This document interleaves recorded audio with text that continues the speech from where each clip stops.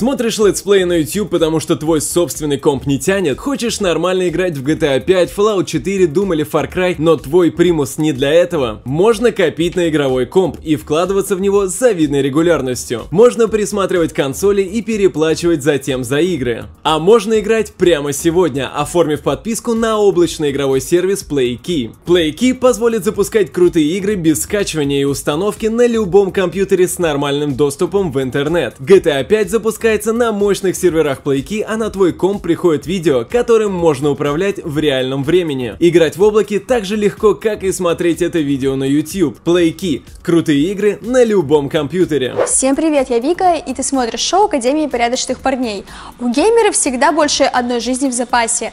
Именно благодаря играм многие люди кардинально меняют свою жизнь к лучшему, а кому-то и вовсе удается спасти свою жизнь или жизнь других людей. Поэтому сегодня ты узнаешь о 10 случаях, когда компьютерные игры спасли чью-то жизнь или сделали людей счастливыми. Поехали! У Боба Чамберса из США мышечная дистрофия. Из-за своей болезни он сильно ограничен в движениях и не может жить как обычный человек. И да, он зависит от компьютерных игр. Однажды во время онлайн-игры на кухне загорелся тостер, и бедный Боб не мог потушить пожар или воспользоваться телефоном. Все, что он мог себе позволить при своей инвалидности, это протянуть руки к клавиатуре и напечатать «Помогите мне, мой дом находится в огне и я не могу выйти». Игроки тут же вызвали пожарных и Боб был спасен. И кстати, жена Боба, да, в Америке нормально выбирать человека не по внешности и состоянию здоровья, а по другим критериям. Так вот, жена Боба, которая раньше презирала игровую одержимость своего мужа, пересмотрела позицию. По ее словам, она раньше ненавидела его, потому что Боб не обращал на нее внимания, а теперь она вынуждена прикусить свой язык, потому что это спасло ему жизнь. Еще один забавный случай произошел в США, одновременно ужасная и смешная ситуация. Во время игры Fallout 4 геймер разбил автомобиль в его же доме. Американец спокойненько играл на Xbox One в последнюю часть культовой серии, в то время как неожиданно в его квартиру въехал автомобиль Hyundai Solaris, при этом разрушив стены его дома. А поклонник игры сильно повредил позвоночник и сломал левую ногу. Сам мужчина утверждает, что геймерское кресло просто спасло его от верной гибели. Кресло приняло удар на себя и отбросило его в сторону, благодаря чему он не попал под колеса автомобиля. Как оказалось, виновницей аварии стала женщина, перепутавшая педали газа и тормоза при выезде с парковки. Ну, в принципе, это норм, тема девушки так часто делают. При этом дама ездила без страховки и не смогла полностью возместить ущерб пострадавшему. Однако друзья по играм, узнав о беде незадачливого геймера, организовали сбор денег на ремонт дома и лечение потерпевшего, собрав в итоге более 6 тысяч долларов.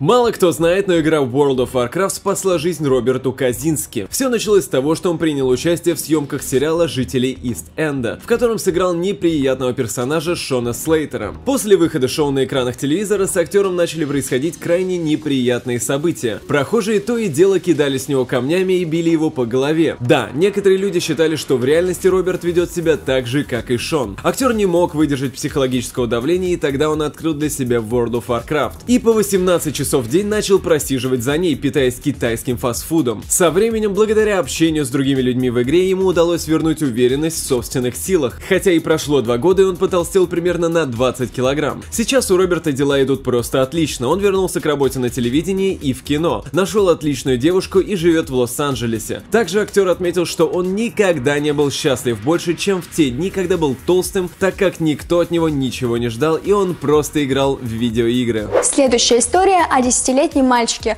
которому увлечение играми помогло спасти жизнь аж троих людей. Увлечение видеоиграми спасло жизнь трех людей. Десятилетний Гриффин Сандерс с его четырехлетним братиком ехали в автомобиле, которым управляла их до ужаса старая прабабушка. Да, в Америке норма, что пенсионеры водят автомобиль. У нас, конечно, такого не встретишь. Так вот, неожиданно пожилая дама рухнула в обморок прямо за рулем, а ее нога продолжала сжимать педаль газа. Все могло бы закончиться очень и очень грустно. Однако десятилетний Супермен не растерялся, схватил руль и увел машину со встречной полосы. От резкого маневра нога прабабушки упала с педали газа и автомобиль постепенно остановился. Как оказалось, Гриффин давно наблюдал за бабушкой и мысленно уже научился управлять автомобилем. Но самое главное, мальчик увлекся серией аркадных гонок Mario Kart, которые помогли ему приобрести минимальные навыки управления машиной. Их оказалось более чем достаточно для того, чтобы спасти как минимум три жизни. Похожая история произошла в Ирландии. 11-летний Чарли Каллен спас жизнь своего деда, когда тот потерял сознание, управляя автомобилем. Чарли поведал непростую историю. Когда он возвращался домой со своим дедом на автомобиле, в какой-то момент Финн потерял сознание, продолжая давить на педаль газа. Машина начала съезжать в канаву, но Чарли схватил рулевое колесо и аккуратно вывернул автомобиль на дорогу. Удерживая руль одной рукой, мальчик пытался второй растормошить и привести в сознание деда. По пути им встретилось несколько автомобилей, но Чарли удалось увести машину с оживленной трассы. В конечном итоге мальчик не сумел справиться с управлением, и автомобиль врезался в стену неподалеку от дома деда и бабушки. Чарли ушибся головой, а после осмотра у медиков оказалось, что он повредил череп, однако он сумел вытащить из машины истекающего кровью деда, наконец разбудить его и добраться с ним до дома. Связь с GTA, как может показаться с первого взгляда, определить сложно. Однако, по словам мальчика, свои первичные навыки вождения он получил именно из игры упомянутой серии. Вот так вот, ребят. GTA спасает жизни. А вот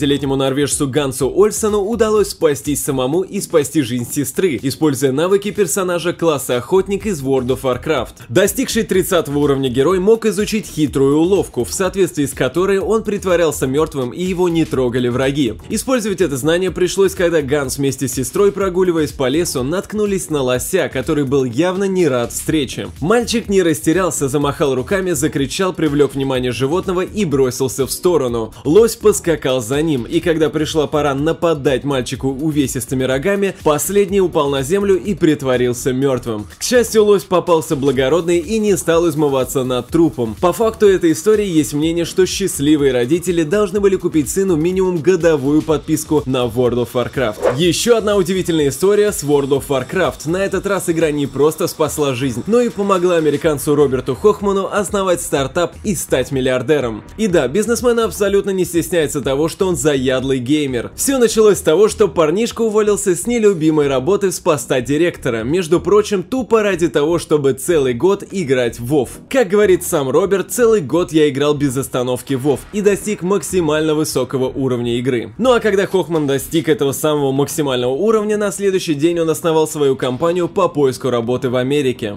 Американец поведал, что благодаря игре он узнал, что онлайн-комьюнити сильно отличается от реального. Существует пространственно-временной сдвиг между онлайном и реальностью. В реальности люди живут по устоявшимся законам места и времени, но в интернете нет ни первого, ни второго. Там жизнь кипит в любое время суток и приходит из любой точки мира. Фанаты Team Fortress 2 коллективными действиями смогли спасти жизнь ребенку. Один из любителей шутера рассказал историю о том, как его товарищи по игре помогли спасти жизнь его сыну. Немногим после ужасных новостей от врачей Steam Workshop вышла его карта под названием PL Swift War, которая вошла в состав обновления Meet Your Match. По программе MIPS там все игроки шутера, которые хотели поддержать работу автора, могли приобрести особую шляпу с забавным эффектом разлетающихся частиц, активирующимся только на этой карте. Благодаря собранным таким образом средствам ему удалось сохранить и здоровье сына, и дом. А вы знали, что компьютерные игры зачастую помогают выйти из депрессии, а людям с ограниченными возможностями начать жить полной жизнью? Если 23 года назад 28-летнему Кену Уорлу кто-нибудь сказал, что компьютерные игры однажды спасут ему жизнь, он бы рассмеялся. С какой стати активному молодому человеку в самом рассвете сил думать о компьютерных игрушках? Но все изменилось одним роковым днем 94 -го года, когда Кен стал жертвой несчастного случая на стройке. Плохо закрепленная труба сорвалась, пролетела 5 этажей и ударила канадца по затылку, вдребезги разбив его каску, а вместе с ней мечты и планы на будущее. Парня парализовало на всю жизнь. И неудивительно, что тот просто умолял своего отца, чтобы тот отключил все аппараты жизнеобеспечения. Канадец просто мечтал отправиться на тот свет и избавиться от мучений. Средство от депрессии принесла сотрудница Ванкуверского реабилитационного центра. Кен, вот сюрприз, который, возможно, улучшит вашу жизнь. Это новая компьютерная игра Diablo. Новость Уоррелла обрадовала и озадачила. Классно, я люблю мечи, магию и все такое. Но как я буду играть без рук? В итоге руки и не понадобились. Революционный манипулятор Джоус, с которым познакомился Кен,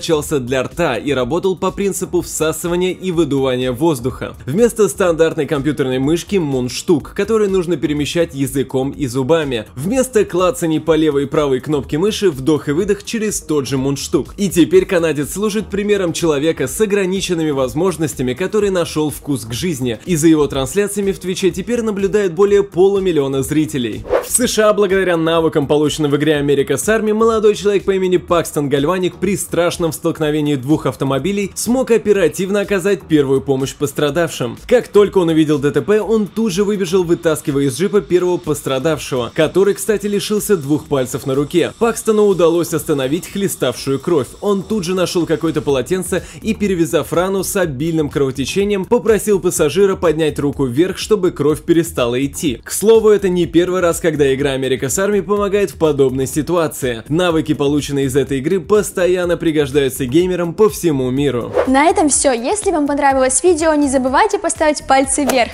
Также пиши в комментарии, какая игра тебе нравится больше всего и как конкретно на тебя повлияли компьютерные игры. Самые интересные истории и комментарии попадут в следующий выпуск. Спасибо за просмотр. С вами была Вика. Увидимся в следующих видео. Пока! Thank you